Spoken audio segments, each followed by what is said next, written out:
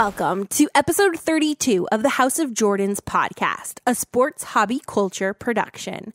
I'm Kristina, and you can find me on Instagram and Twitter at Kristina's PC. K R I S T I N A S P C. And I'm here with Chris. You can find me on Instagram at Chris underscore HOJ. You can find me on Twitter at House of Jordans, and you can find all of us on YouTube at House of Jordans. And shout out to Nick, aka Stiff Arm Wax, on all the social media platforms, the video producer of this show. And I'm here with Brian. You can find me on Instagram at Joedin Cards, J O E D I N Cards. So here's a really quick show preview. We're going to have some quick thoughts on Project 2020 after two months of Project 2020. Then we're going to have Kristina's Corner recap and reactions. Then we're going to do the last dance market analysis at long last, part deuce. And then finally, we will do mail days. That means two. So, Thank you. I didn't know. Before we get into the substance of the show, we have a quick announcement. That announcement is there is a new House of Jordans spin off podcast Tell Us More, Christopher. called Conversations with Chris. It's something everybody has desperately wanted, and we're finally giving it to them. I've launched a new podcast series available only on the House of Jordan's YouTube channel called Conversations with Chris. The theme of the show is very simple. Stop laughing at me. I talk to card collectors with interesting points of view or specialized knowledge. If there's someone out there who can bring value to you guys, our audience, I want to talk to them. My first episode came out this week. I talked to Anthony, aka Summertime Cards, on Instagram. He is a professional sports He's now heavily involved with cards. He's got a lot of great knowledge about the NBA. And he has some interesting takes on the league and the sports card market. We talked about which players he's buying as we prepare for the NBA to resume at the end of July. We talked about which players he thinks are overvalued, which players we think are undervalued, and some of the fun stories of some of the crazy wagers that he has made over the course of his professional sports betting career. You can hear this episode at the House of Jordan's YouTube channel. And we are also releasing, as you should know by now, two Kristina's Corner episodes per week. And we are not done adding new content to the House of Jordan's channel. Sneak peek teaser alert there. So stay tuned. All right. First topic quick hobby topic Project 2020 after two months. So Aaron at Slabstox came out with a post analyzing the market for the Ermsy trout, and basically the graph that he constructed showed the car's trajectory over the month of May. It started in May at about $250 to $300. It surged all the way up to $2,500 in late May, and then now recently it has dropped all the way down to $1,000. So, why are we talking about this? Well, Project 2020 has become one of the most interesting and polarizing topics in the hobby, and I want to give my take on it since everybody's giving their take. Let me give mine. Each of the 2,911 copies of the Ermsy Trout was originally purchased for $20 or less only two months ago, and they're now selling for roughly $1,000 each. I've studied historical price trajectories for thousands of cards over the years. I cannot name another card that did a 50x in two months. Now, taking into consideration when we analyze the two important investment variables one is the absolute dollar gain.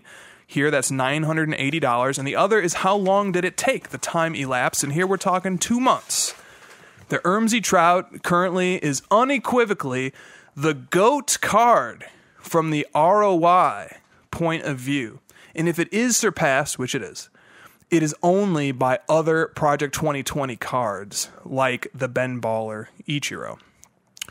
What makes this even more intriguing, and I have to tip my hat, is that outside of Kristina's PC, the Sports Card Nation podcast, Slabstox, and a very few, if any, other hobby content creators have discussed Project 2020 outside of you guys. I'm sure there's some, but I'm not aware of them, and I listen to a lot of hobby content.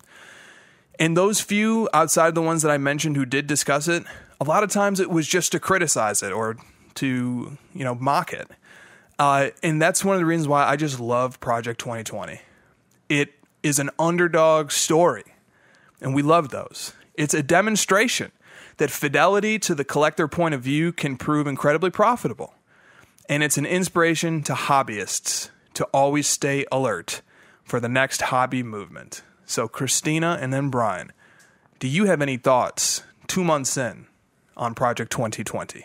I think everyone knows my thoughts by this point about Project 2020. Um, it's not easy to keep waxing poetic about the intersection of art and cards in the way that Topps did this. Um, and yet I keep going.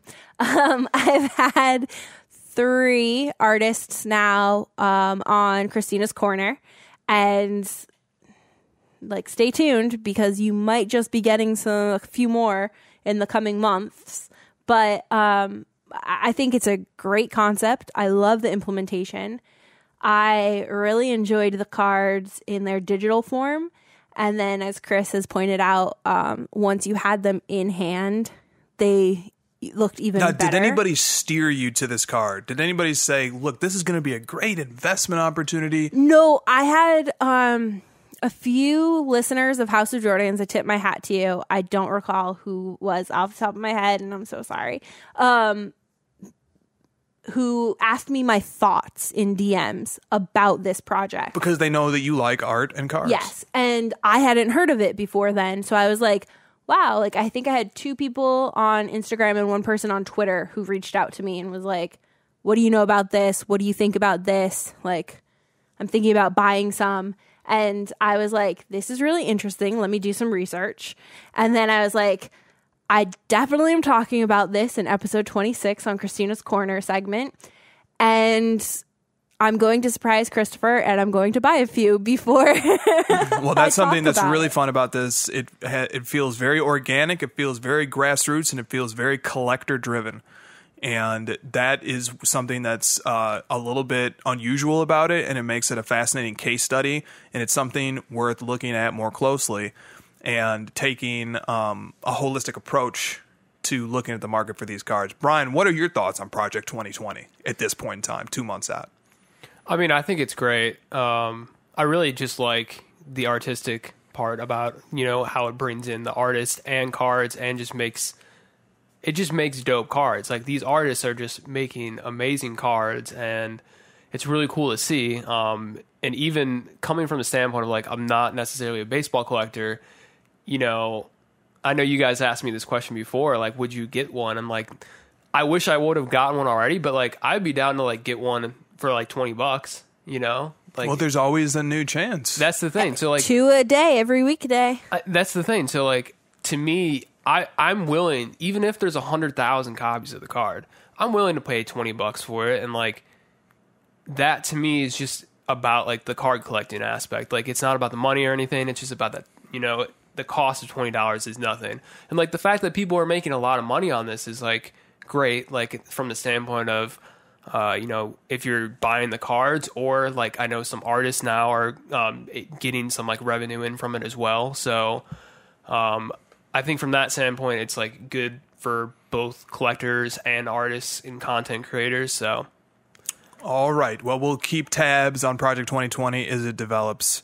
Uh, but two months out, there's a snapshot of our thoughts on it. All right. Segment number two Kristina's Corner recap and reactions. This week, we're going to react to, to Kristina's interview with Mitch and Tai, owners of the Bullpen Card Shop in Los Angeles, and recap some of the other Kristina's Corners very briefly as well. So, Kristina, please take it away. Well, before we get to Mitch and Tai's episode, which was episode number eight, let's talk about episode number seven right quick.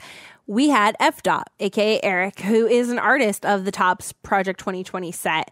Uh, we talked about card art, mural art, and Eric's Patreon, where hobbyists, like Brian was saying, some revenue for artists, hobbyists uh, on this Patreon can have direct input on his upcoming cards for Project 2020. that's pretty Which cool. is really cool. You can, I, he said that there's about 200 people in there right now, and like it's all it's all conversation based. Um, they get shown uh, early sketches of the work, and then they get to comment on which of the sketches they like better, what aspects of a player they should really focus on, if they're known for something that a collector would like to see uh, mirrored in the card. So that's really cool. And then we had episode eight, which uh, was released this week. And I sat down with Mitch and Tai from my LCS, the bullpen in Los Angeles, and Mitch dropped some heat uh, when discussing today's hobby market compared to the 2008 recession and going back all the way back to the late 80s. Um, his diagnosis was that the hobby is in an unprecedented moment. Thanks, Mitch. in his estimation, he believes that the market will continue to grow for at least two to three years. I thought that was pretty interesting. If you want to know the rest of Mitch's hot takes, definitely go check out Kristina's Corner. Tai then explained that new collectors should try to educate themselves more before diving too deep into the hobby. And she warned that perhaps collectors should be a little more selective as to who they listen to when making hobby purchases. Uh, a comment that we have said before on this show, and we've heard from others on episodes of Kristina's Corner or conversations with Chris, is that you should collect what you like, not what people tell you you should collect. Uh, I highly recommend watching the hour long interview with Mitch and Tai. There were some hot takes, like I said, great insights and information you probably haven't heard elsewhere from longtime pillars in the hobby community. Uh, it was also an entertaining show throughout. Sprinkled through the show was one of Mitch and Tai's favorite pastimes trolling me. So you have that to look forward to. And then episode nine, I had a conversation with Kevin, uh, also known on Instagram as at underscore o nose. Kevin has been making amazing athlete portraits for years, and this year he begun his own basketball project 2020 set. And a, a card has recently this week been reposted to Panini's story by Kevin. Um, so I'm choosing to read this as a good sign for me and my fellow Project 2020 enthusiasts who also collect basketball. Next week, I sit down with, you thought I was done. Next week, I sit down with an industry legend, and I cannot wait to share this conversation with you all. All I'm gonna say is Mount Rushmore. Yes. Mount Rushmore. you're, you're going to not know how I got this. That's how, how I'm going to say. um, and I also got to know half of an incredible hobby content duo who have brought collectors hours of joy. So don't forget to watch Kristina's Corner on the YouTube channel of House of Jordans uh, twice a week, guys. Twice a week. There's- and the original spin-off of House of Jordans. There's not much to react there. Um, the one thing I find interesting was Mitch's comment that he thinks the hobby will continue to be robust for kind of like at least two to three years is kind of the hedge that I hear a lot of people make. And I Yeah. think that's an abundance of caution that characterizes collecting in general. I think collectors in general, philosophically, are a relatively conservative, financially conservative group, which is kind of crazy to think about when you sort of see the way the market has looked lately. But you can see it in other expressions like like when people especially hobby shop owners like are cautious and they say we're going to see maybe 2 to 3 years of continued growth and then I don't know that's that's an abundance of caution and in being careful and not wanting to sell people anything that they can't themselves necessarily foresee coming to fruition. But it is a very interesting question to analyze since you know it, it- that's what we do is we on this show is we just kind of try to you know bring a perspective to a topic like this. And what do you guys think if you have thoughts on this two to three years out is that the window of hobby prosperity is it shorter is it longer is there I any way to know I think Brian's going to go first. okay, I'll go first. I mean, I think that like in general, you have to think about the new rookies that are coming into the NBA, and you have to think about from that standpoint, at least for the for for the basketball hobby. Um, I see a lot of uh, fans in the NBA because a lot of people are becoming fans of these new rookies. So I don't think necessarily two to three years it's going to like die out or anything. Um, I think we have a good class right now that's going to carry the hobby for a while, and then like what happens when that maybe fades out a little bit, I'm not sure, or how long does that last? I don't know. I mean, how how long do people, you know, how long do career tra- trajectories last? You know, there's there's a lot of time ahead of us, but I would agree with two to three, and I think it's caution. It's cautious, but like we've had people like Gary Vee say three to five.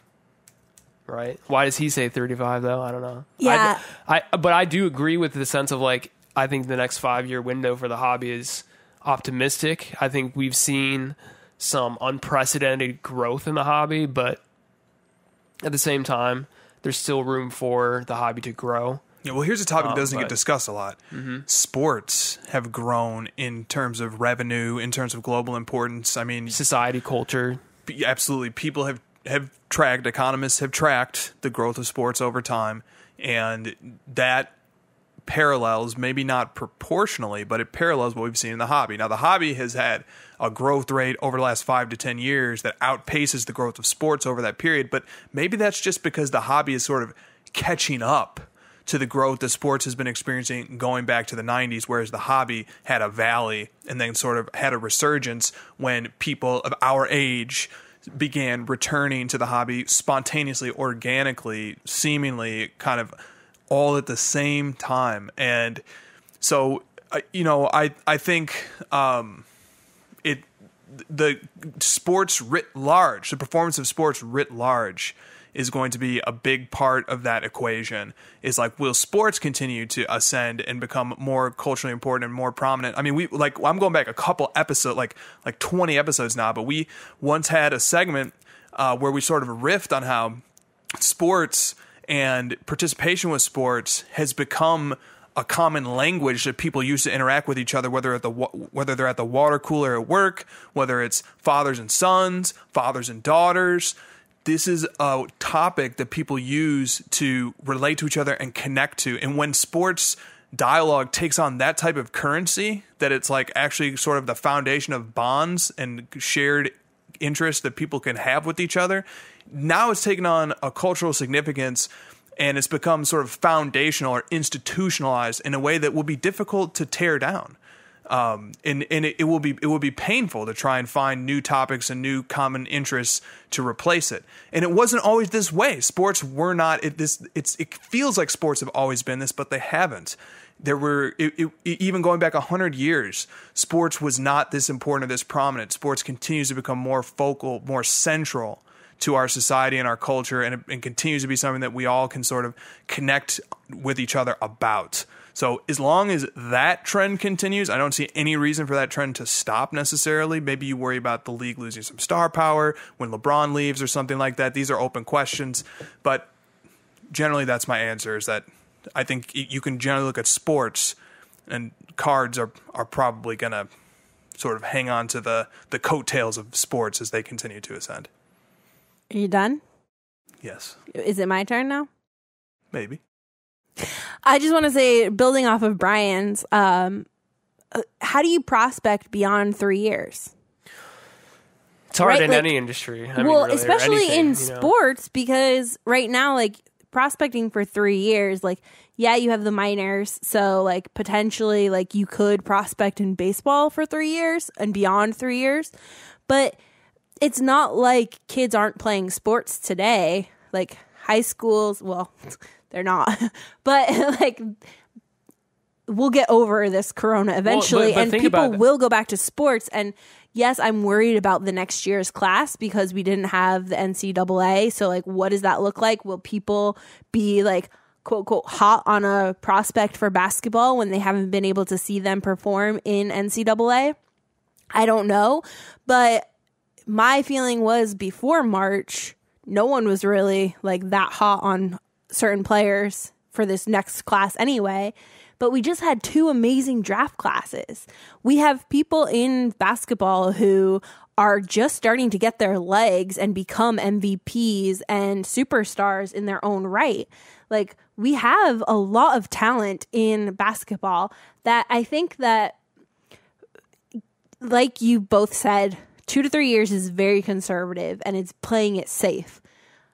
To me, I don't see people taking their money out of the hobby. So unless like a recession hits that's worse than 2008, knock on wood, um like w- we're going to continue to see people spending money in the hobby and we're going to continue to see people like Mitch said in one of the uh times in uh Kristina's corner, like people will be going backwards to 2016, 17, 2018, 2019, like they'll be going back to look for those boxes. Those cards, like Michael Jordan cards, will always be worth money. And for that, I don't think you go backwards. But that's just me. Well, um, so, so the flip side of the coin is that like when you do talk about draft classes and stuff, you do worry a little bit about if prospects don't pan out and a couple years go by and people start to lose money.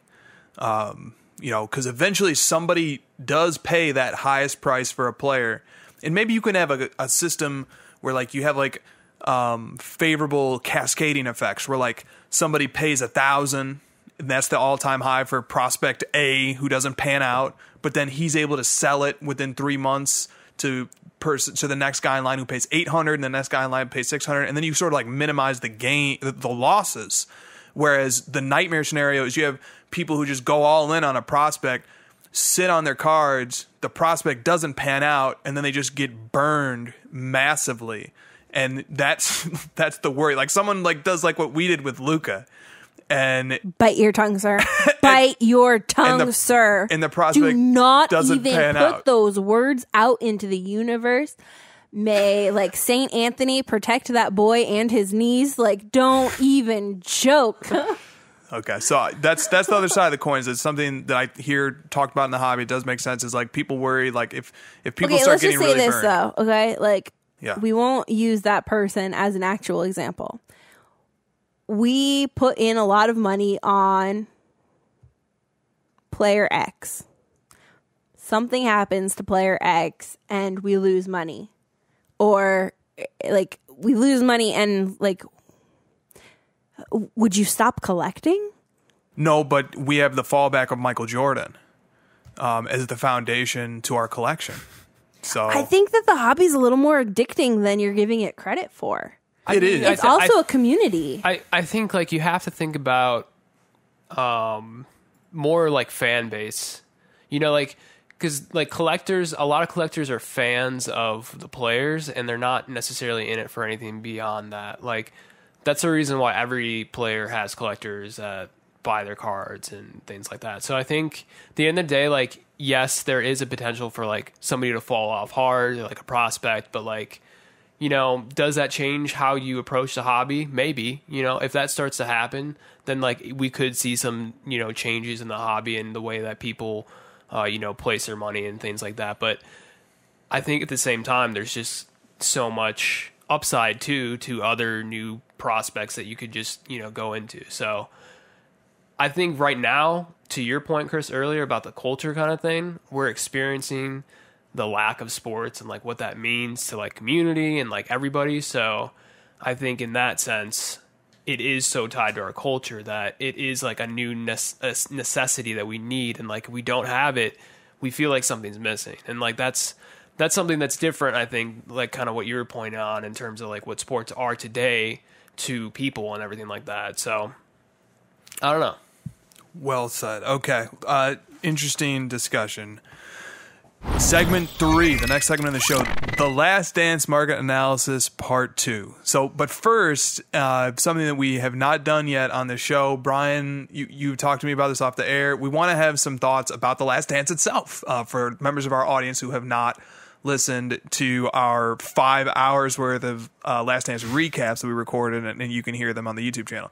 So let's try, let's just talk about the Last Dance for a second. So we're almost three weeks removed from the final episode of the Last Dance, but if, does it feel like that long? It feels like it's been longer to me. It feels like you know a whole like epic chapter uh, in sports happened and then it closed and it just I don't know. Yeah, I mean, and I think time's moving a little slower now too, or faster, or whatever. So I don't know. It just seems like things are. Uh, there's a lot going on. So a lot has happened even since the last dance. So I think in that sense, it feels like I want it back though. Like I want to be able to rewatch it. And I feel that. But content with its run actually. Like, like I yeah. I would only want to rewatch it if I could rewatch it again for the first time. Hmm.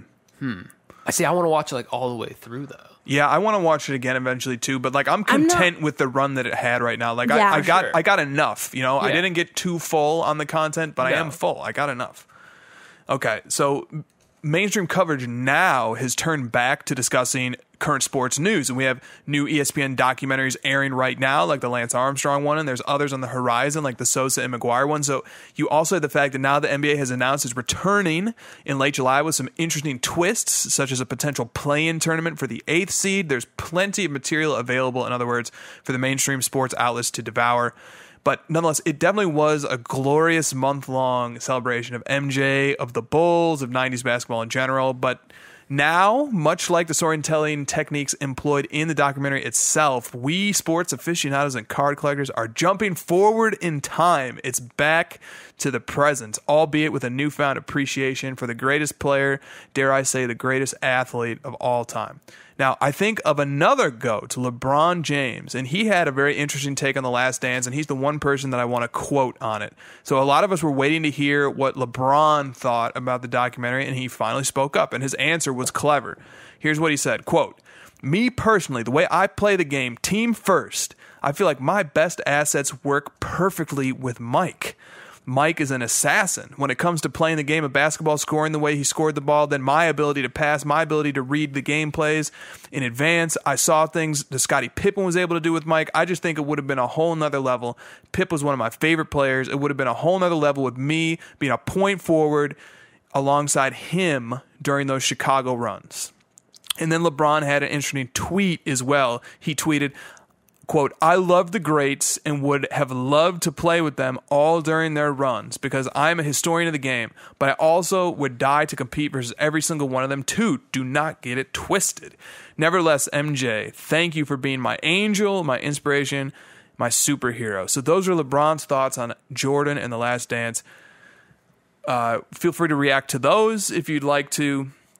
I thought that was an interesting way to approach the subject and sort of diffuse and avoid the elephant question in the room. And then, you know, so I'll open the topic, either topic to you. You can either react to LeBron uh, or you can just give your own thoughts on what you thought. Like, just there's maybe one or two resounding thoughts that you have on The Last Dance as a whole and what it meant to you. Well, real quick on LeBron, I think LeBron here sees himself as like somebody that's on par with the league of the goats, um, which he is. So that's why he's talking in this, this kind of conversation. And of course, he wants to kind of play like the fantasy of like, well, if I could have played with like Mike, like we would have killed it. And I'm sure they would have if they would have, you know. But obviously, it's not a reality. But it pays credence to what he thinks about uh, you know, MJ and like saying he's a superhero and stuff is paying credence to the fact that he's recognizing him for like who he is and what he is. So, you know, at the end of the day, it is an interesting response, but he's paying credence. In terms of the last dance, like I, I, I mean, it was just so much content and so much content from MJ.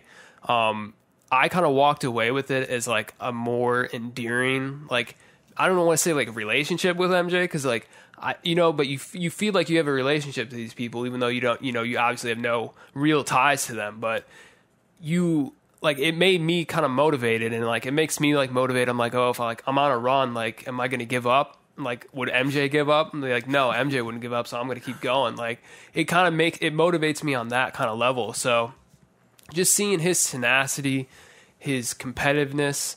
I mean, and just his his focus, his laser beam focus. Only thing he was concerned about was winning. That's it. He didn't. He didn't. He had no other concerns, and like to his fault. Like I'm, like there's a lot that probably wasn't discussed, but I'm sure there's a lot that he had to deal with with having that kind of laser focus and having that kind of uh, just self sacrifice to every level to win. It's just something that's very inspiring, but at the same time, it's like it's you you feel like emotionally like like the pain that he kind of felt within all of it too, you know, especially with dealing with other people and you know a lot of people talk you know crap about him and he has to deal with that and you can obviously see from like an emotional standpoint it does affect him even though he is like somebody that we view as like the goat and like it's still he's still a human he's still got like this other side to him so i don't know.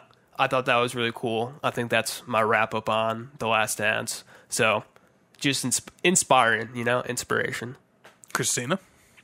I would agree. Uh, I walked away, and I would say I do have a better relationship with Michael um, because you could totally have a one way relationship with someone. we named a podcast after him. I think we have a, a relationship with him. Correction. We named the podcast after his basketball cards.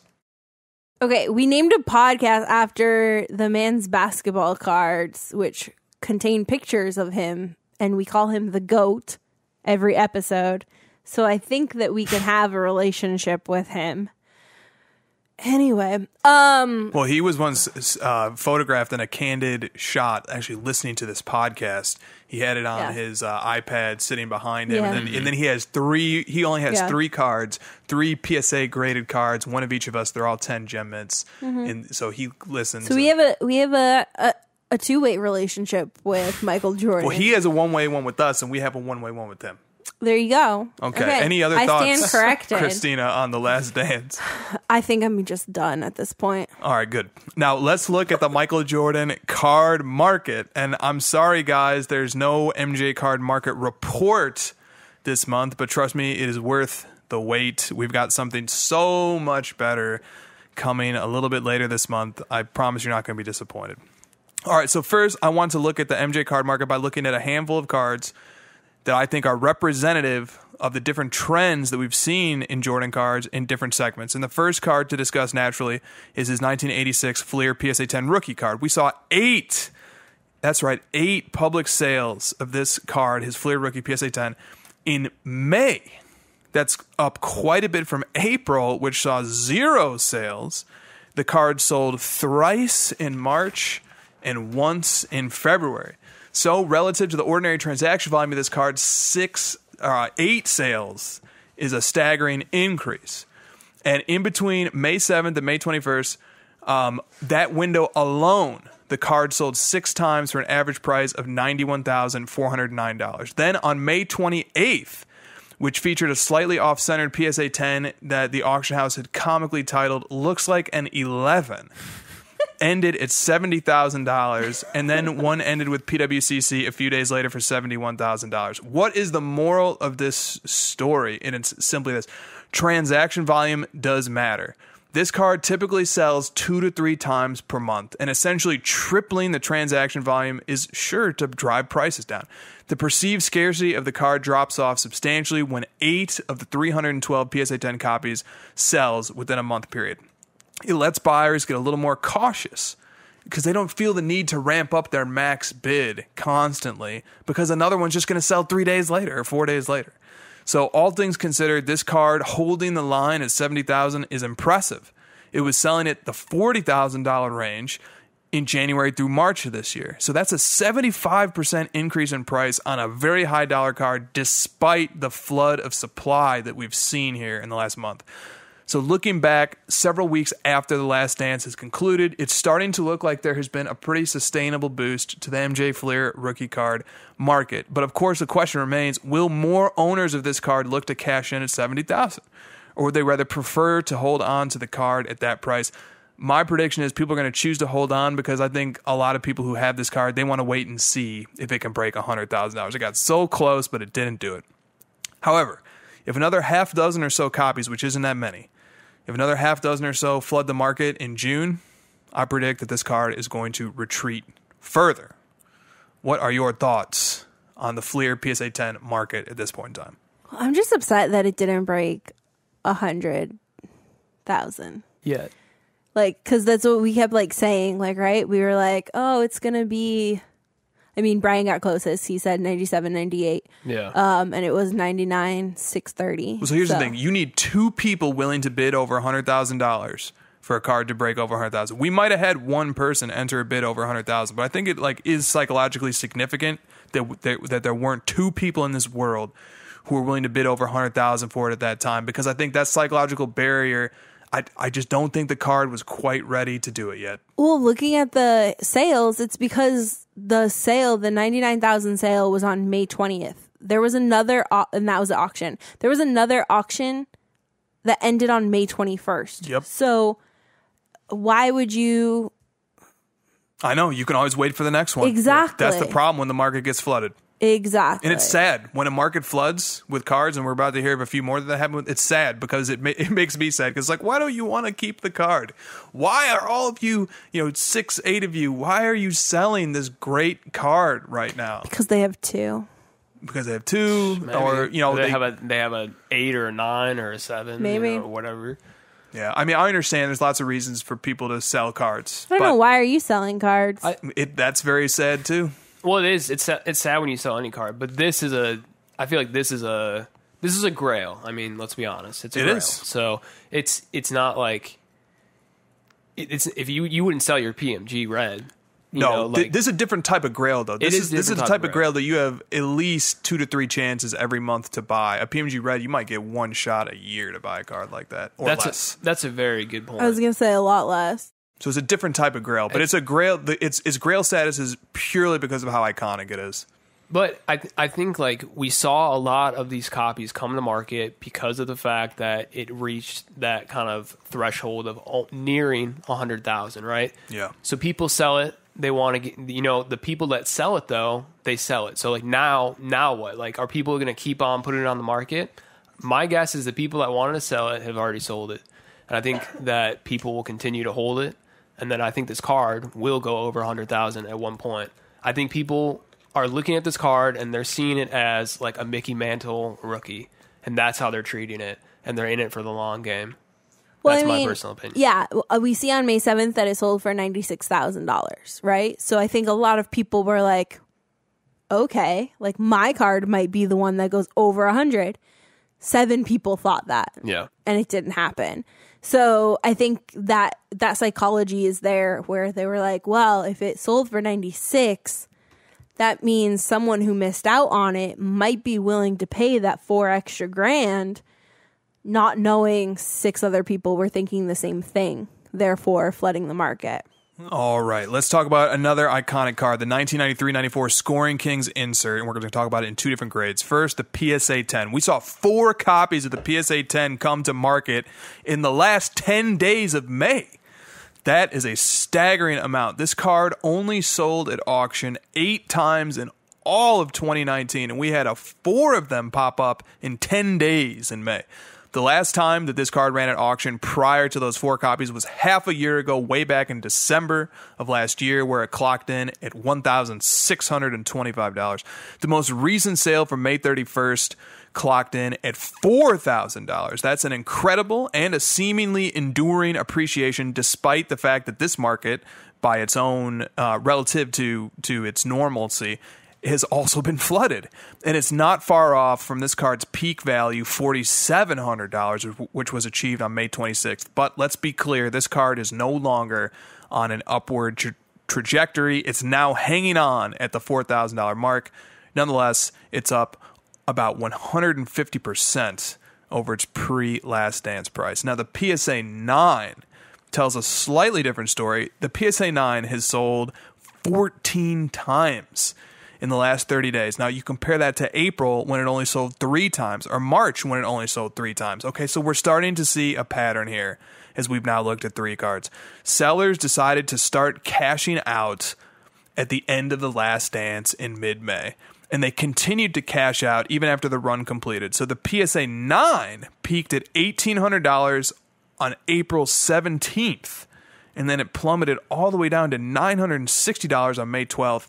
And now it has rebounded to $1,400 as of June 3rd. So for comparison's sake, it sold for $875 in mid March. All right, that's a lot of numbers, but what's the basic pattern that we're seeing here? Well, once again, the market was flooded. However, once again, the price seems to be settling in, and now settling in at about the $1,400 range. It's flattening out. So, on the whole, this card, like the PSA 10, is up from its pre last dance price, but this one only about 60%. And it has pulled to about even with its value when the last dance was first announced, which was marked by a $1,400 sale on April 5th of 2020. Let's throw in one more iconic card for good measure the 97 Metal Universe PSA 10 base card. This card sold five times in May and six times in April. It only sold once in January, February, and March combined. So it is currently holding steady at $2,000 in price. It's up 181% from its pre Last Dance value of about $700. However, during Last Dance Mania, it recorded three sales at $3,000 or above.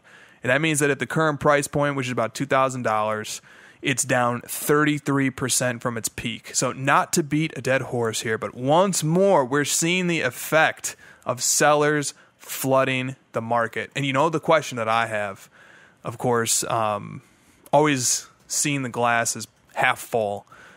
I wonder what would the MJ card market look like for these particular cards if people didn't flood the market with them?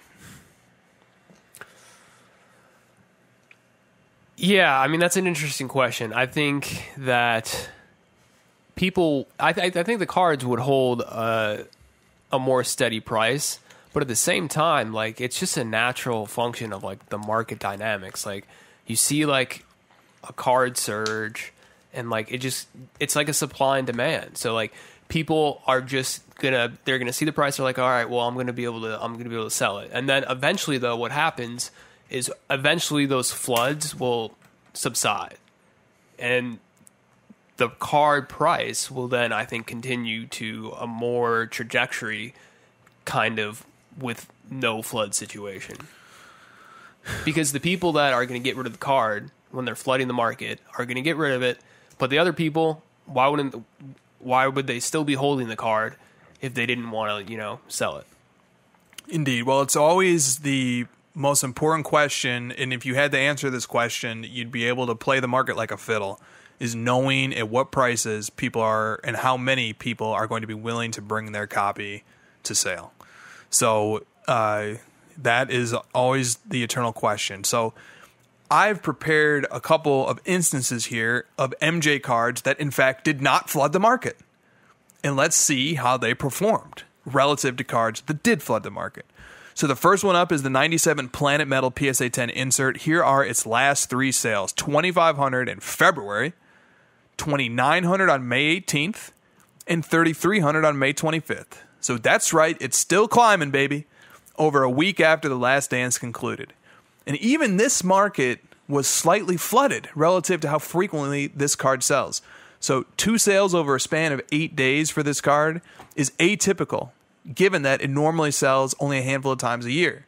This card never saw a dramatic spike and then retreat in value, and that's probably because it didn't sell once actually during the airing period of The Last Dance. Instead, it's just steadily climbing. Compared to its auction value of $739 in last June, which is roughly a year ago, this card is up 350% with no valleys in its beautiful graph. The 1997 high voltage PSA 10 has followed a very similar arc. A year ago, it was $1,000. It sold twice in the latter half of May after registering zero sales in all of 2020 prior to that. Those sales clocked in at $2,500 on May 16th and $3,900 on May 27th. So, indeed, here is a card that is surging in value after the last dance. Now, Brian, you had floated a very interesting theory about the Michael Jordan high voltage and why there might be something a little extra pushing this card up. Yeah, I mean, it's because of the hoops high voltage uh, release that they did with Prizm this year. I think that that is causing people to kind of look back and like, oh wow, so there was high voltage with you know all these like '90s cards. That's kind of cool. Like, so people are like MJ, obviously, they they see that and they they want to buy it. You know. Absolutely. And I think here too, for this card specifically, right? Low pop. So that's a natural function in itself of preventing a flood of the market. Also, if you look at the the metal universe, that's relatively low pop too to flooding the market. Compare that to like a you know PSA nines where it's more easily you know it's a higher pop right for like a Scoring Kings. One thing about the Planet Metal, I'm wondering if people are kind of associating that with like the Prizm silver in a sense because of the way like it has like kind of like refractor and i don't i don't know. I or it's just people like the card. I mean i think it's a gorgeous card but interesting. That card did take a while. Is, is that card has lagged traditionally behind Yeah. the rest of the market but it more than made up that ground very recently Yes. so i understand why you would posit that perhaps there, people are seeing something familiar in it that's allowing this card to experience the rate of growth that it has over the last year. All right, so on a more practical level, listeners of this show, some of you might be saying, well, this is all great, but what if I don't have thousands of dollars right now to just hold and just wait and spend on rare, these tightly held inserts that only show up a few times a year? And I think that's a question a lot of people asked themselves recently when they decided to start collecting MJs. Well, all right, I accept your challenge. Here's one lower end insert that has held up nicely following The Last Dance, and it's the 1995 Maximum Metal PSA 10. This card sold in the $200 range throughout all of 2019. Then it sold three times in the last three months. In March for 356, in April up to 500, and then in May up to $585. Steady incremental growth for this card before, during, and after The Last Dance and we see that a key ingredient to its steady appreciation is once again it never flooded the market. So, takeaways in conclusion. Well, at the risk of um, oversimplifying things, here's one lesson that I think we can say we've learned.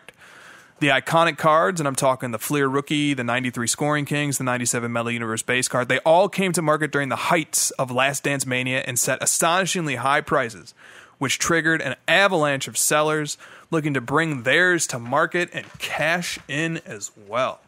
These cards are still up substantially over their pre last dance values, but they're they sure are down from their last dance peak. However, the rarer cards like the Planet Metal and the High Voltage and the Maximum Metal inserts, they they never set astonishing record highs during the last dance. They simply experienced what I would describe as an accelerated rate of growth. It was as if they had what would have normally been 12 months worth of growth for them, but just they condensed it into a month or two, which is impressive and it's noteworthy, but it's not enough of a surge to make owners of these cards just start flooding the market with them. And that seems to be the sweet spot for finding long term success with cards of a highly collectible player that experiences a sudden and unexpected influx of hobby interest. Cards that are appealing but that fly under the radar. The cards that true collectors know, and hunt. You are a lot less likely to lose money buying these types of cards, even if you buy them during a moment of massive hype. And this is why having hobby knowledge is so essential to thriving long term in this game. Hardcore MJ collectors you all know exactly what I'm talking about right now because when you can see the whole why are you laughing at me right now? You like my delivery? Yes. When you can see the whole landscape of Michael Jordan cards, you can readily identify and recognize cards that are in the sweet spot. And for good measure, here's another lesson we learned. If you've got those iconic cards and you're looking to flip them for maximum value, do what not What should they do? Do not wait too long. Please do not wait too long. The iconic cards tend to peak early. For example, the Scoring Kings PSA 9 peaked in mid April, right around the time when the first episode debuted. So too did the 93 94 Finest Refractor PSA 9, a card which we did not analyze in depth here today, but that followed a very similar trajectory. It surged to, it surged to north of $3,500 in mid April before plunging all the way down to $2,000 a few days ago. But note, it's still up from its 800 to $1,000 price range pre Last Dance. But if you waited until now to flip the card, assuming that you wanted to flip it, you definitely have left a lot of money on the table. But we already knew this from when we studied the Patrick Mahomes Prizm rookie cards, did we not? They peaked the day of the Super Bowl, and then the week after he won Super Bowl MVP, his cards collapsed, losing nearly 50% of their value but they eventually returned. And now they're more valuable than they ever were just a few months later. Interesting conclusion there. Ah. I'll leave it. That's my comment on that. So I think I smell what hold? you're cooking. What's that? Are you saying long hold? You've seen my PC. Yeah, that that is the name of the MJ game. And that's the way I like it. That's how I enjoy my collection. I want cards that don't give me anxiety when I look at the box and think, "Oh man, you know, if this if if he twists his ankle or God forbid whatever else. Oh my God, shut up. All right. I'm not talking about. I didn't say any names. Player X, remember? Player X. Finally, the final segment of today's show, Mail Days. Mail day. And who should lead off Mail Days? Brian. Brian, because Brian brought over Mail Days and he said, "I'm not telling you what I have." He said, "Brian, Brian, Yeah. let, Brian let off Mail Days and he said, "I'm not telling you what I have. Uh, do you want me to?" And I was like, "No." And then he tried to tell me, but I stopped him. So this is going to be a surprise. Well, Kristina, well, I'm I'm buying you time not to start open. opening this Yep. this pack. So none of Brian's are open. None of Brian's are open. We I don't even know what it is. What's inside? Well, we'll yeah, see he what doesn't comes out know first. which ones are which, so That's it's true. going to be interesting. All right. Drum roll. roll, I'm so excited to see what's in these packs. It's brown cardboard. It's brown cardboard. Gotta love that. I do love the green tape. That's nice. It's well, it's nice when they put some some good packaging to protect the card. I guess you know. I've found packaging techniques to be very good Yeah. in the year 2020.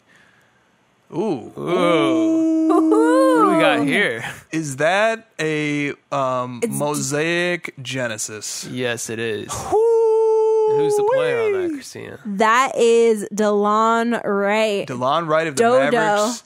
Mosaic Or is that Genesis. Dorian? Dorian is Dodo. Dodo. Okay. DeLon Wright. Just kidding. Can't wait to see this guy on the floor in about a month and a half to two months here. Seriously. Oh man. I you know I wanted to really see this card and see it in hand. You know, And you haven't yet because I haven't. But I'm, I'm looking at Kristina. I mean that that's. This it's is why I have it I set up The video, so- that the uh there there's now a screen in the studio Well- so everyone can Kristina. Enjoy what it. is this? How does this card present in hand? It's gorgeous. I'm really enjoying the refractor finish on it. Um the it's kind of like waves going beyond the geometric shape like in the background. Um it, it just it looks gorgeous. It does look gorgeous, and it has the Mavericks team colors. I haven't seen it before in hand obviously. All right, pass it to Um, me before it gets sucked down the black hole of Brian because he's never going to let it go once. Ooh, wee, this is nice. This is this is much nicer in hand than than it looks in pictures. All right, so we have another That's why I wanted to get it because I really wanted to see, you know, because mosaic in general, it's it's really hard to capture in a picture. So Those are nice. Very All right, nice. We're, more and we're on to package number two of three. One I more believe. time. It's Oh, like yeah, you it smoky waves. Like it's just gorgeous. Yeah, hold, it yeah, hold it down towards you more a little bit. There, oh, there you go. The problem is like it's getting my Okay, next shirt card. That's more all than it's getting the designs of the card. All right, next card. Was that the card that you were talking about? That you were Whoa. teasing us with? Yeah, it was. Okay. Nice, that's a sweet. Of course it's the first one I opened. I like that. All I right, I really on enjoyed to that. package number two. It's a beautiful card. More nice packaging with cardboard Yeah, included. putting some time into it. And what do we have here? Luka, Luca Luka. Mosaic. What is it? This is the white parallel. I've heard about these, right? Is that what this is? This is just the base. oh, this is just Is the it base. called? Yeah, I don't think. Yeah, it's just a straight up base. Okay. So, This is also a really cool card. oh, it's just because the light was so bright on it. Yeah. Okay. Nice. The Luka base Sorry, we're from gonna have to 2019-20 Mosaic. Figure out How much does the a card like this lighting. run? So this card, I you know, I, I don't remember exactly what I paid for it, but it was probably like two bucks or something. I paid more for it in shipping than I paid for the card. um, so Nice. that's kind of the that's the move I made for this one. I I've seen the uh, the silvers for these have been going for pretty pretty high prices. I really They're like- 100 There's silvers so- That- and mosaic parallels. Yes. They are the city jerseys. I'm a fan of a that point. on Luka. Is, I don't think I don't know if yeah, this isn't. So two No. of Brian's three So right is not mail a city days jersey, but Luka is the city are jersey. mosaic. Well, you know the city Yeah, jersey got a lot of Hangs flack behind me. um, I from like Mavericks it. fans, Yeah. but I like it too. I also really enjoy the front of the city jersey, and I debated whether I should show the front or the back of. Maybe you'll switch after a few episodes. I think it might, or we have to get a second one so that it could be both. All right, when what is in package three I already of saw the, Brian's mail that. Well, we didn't. it. It said what it is on the top. So Oh, oh jeez. Well, don't So spoil she it. knows.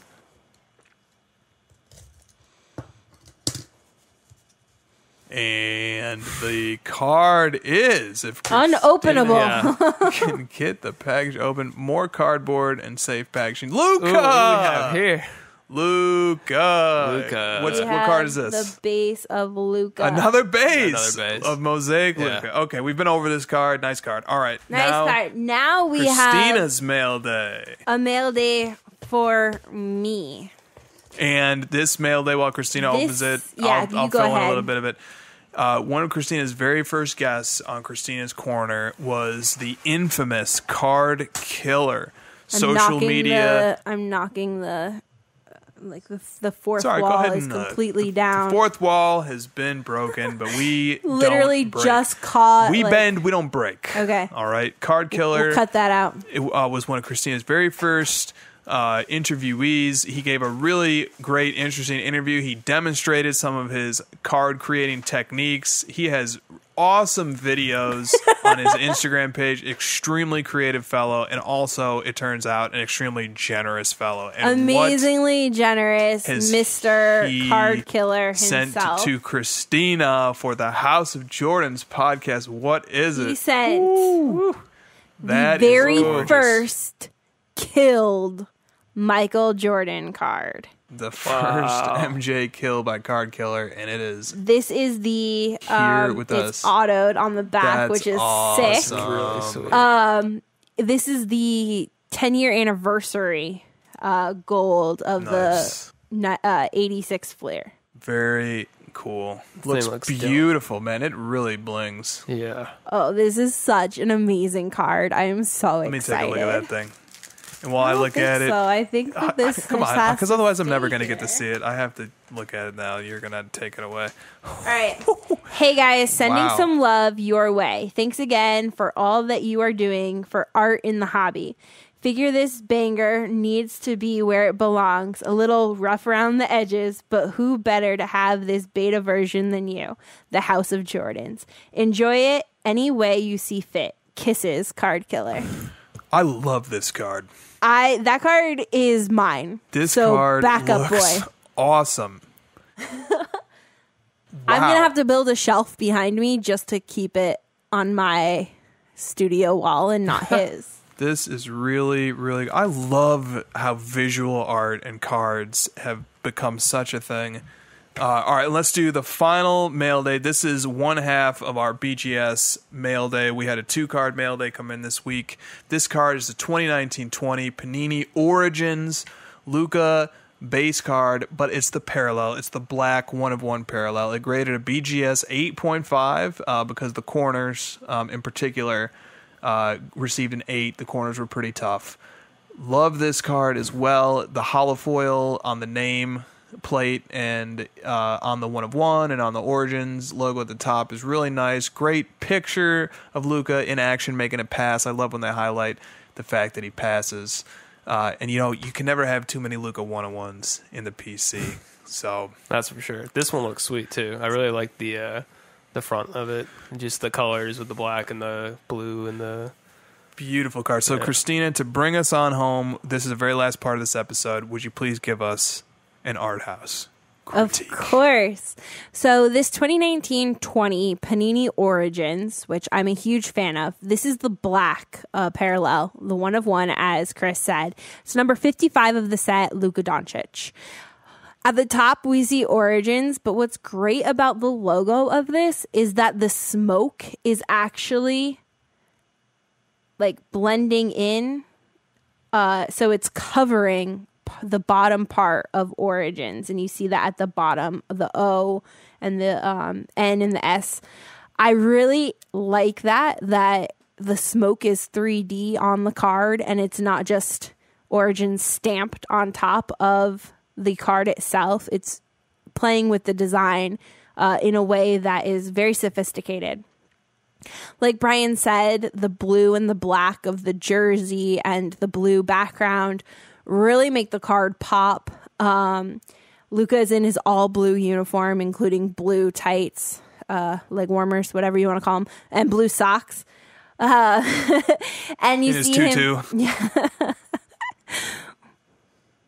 and you see him passing uh, mid pass, and you could just imagine that uh, that is going to like Maxi or Porzingis, and it's going to score. So I would love to see uh, Card Insights do this card uh, eventually. No pressure, guys. Total pressure, guys. Um, I'm just kidding.